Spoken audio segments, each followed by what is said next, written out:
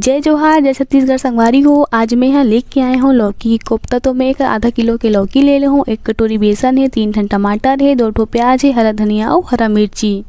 तो मैं यहाँ लौकी ला छिल के कद्दूकस कर ले हूँ और लौकी कद्दूकस करे बाद लौकी के रसाला निकाल ले हूँ। बाद डाल दूँ बेसन ला, आधा छोटे चम्मच नमक डाल दूँ, आधा छोटे चम्मच गरम मसाला। ओकर बाद डाल दूँ मैं बारीक कटे हुए मिर्चा और हरा धनिया, एक छोटे चम्मच अजवाइन। सबोला बढ़िया से मिक्स कर लूँ और सबोला बढ़िया से फेंट लूँ। तो एक हमर लौकी बेसन और सबो ह बढ़िया से फेटा गे हवे। अब बना लूँ कोफ्ता।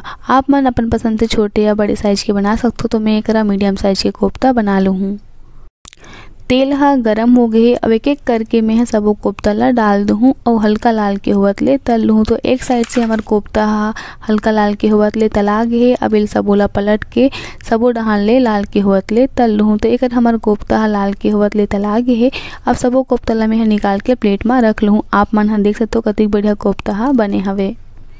कढ़ाई ला गरम करे बर रख ले हूँ कढ़ाई गरम हो गए अब डाल दूँ तेल। तेल है गरम हो गए अब डाल दूँ एक छोटे चम्मच सरसों, एक छोटे चम्मच जीरा, एक टन तेज पत्ता, एक कटोरी प्याज, कुटे हुए अदरक, लहसुन और सब बोला मिक्स करके लाल के होत ले भूंज लूँ।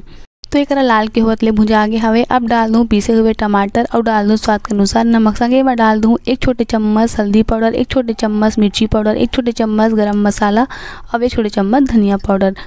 और सबो ला मिक्स करके, ढक्कन ढाक के पाँच मिनट गैस के आँच ला मीडियम करके भून लूँ।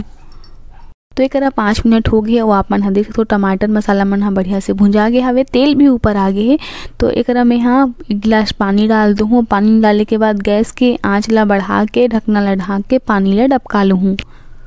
लौकी के कोफ्ता बनाना बहुत ही सरल संगवारी हो, बहुत ही आसानी से बन जाते या झटपट से बन जाते या बहुत ही स्वादिष्ट लगते लौकी के कोफ्ता। तो एक बार इस तरीके ले लौकी कोफ्ता बना के खाऊ आप मतलब बहुत ज़्यादा पसंद आई एक डबके के चालू हो गए एक एक करके सबो कोफ्ता डाल दूँ, गैस के आँच ला मीडियम करके ढकना ला के पाँच मिनट कोफ्ता पका लूँ।